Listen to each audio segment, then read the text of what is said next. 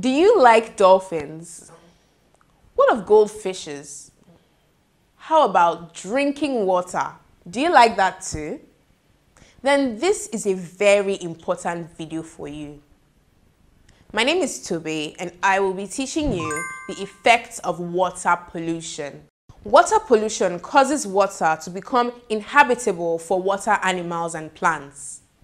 This is due to poisonous chemicals being introduced into the water.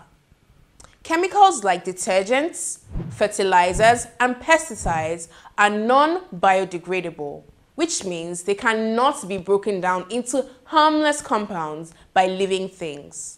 These chemicals are washed from the soil into the water and end up poisoning aquatic animals and also reduce the amount of dissolved oxygen in the water. The pollution of water causes water to become unfit for drinking and cooking. Water pollution causes destruction of living things in water. Too much sewage in water causes a decrease in the amount of oxygen in the water. So, the amount of oxygen in the water will be reduced because those microorganisms that make up the germs will also be competing for oxygen with aquatic animals. If the oxygen levels fall too much, aquatic animals may start to die and the water body will become foul smelling.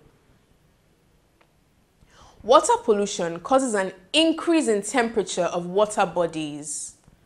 This causes the amount of oxygen in those water bodies to reduce, and this makes respiration difficult for living things in the water.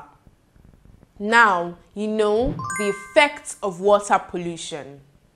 Thank you for joining and see you next time.